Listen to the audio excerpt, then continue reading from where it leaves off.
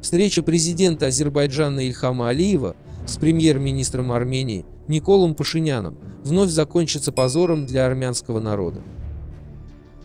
Азербайджанский лидер вновь опозорит его. Как передает Ахарас, таким мнением поделился армянский политический обозреватель Размика Капджанян. Caucasian Bureau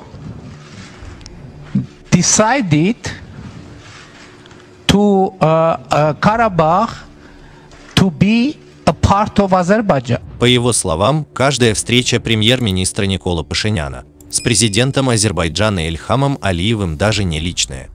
Заканчивается каким-то кошмаром, который реально трудно пережить армянскому народу. А сейчас ситуация просто опаснейшая. На кону, без преувеличения, будущее Армении. О том, что встреча должна состояться, говорили многие. Но вчера пресс-секретарь МИД Армении Вану Нанян заявил, что встреча на данный момент не ожидается. А вот словосочетание «на данный момент» очень напрягает. Это говорит о том, что стороны готовятся к встрече, и в ближайшее время мы узнаем детали. Отметил армянский эксперт. Пишите в комментариях, что вы об этом думаете. Спасибо за просмотр. Не забудьте подписаться на наш канал и поставить лайк этому видео.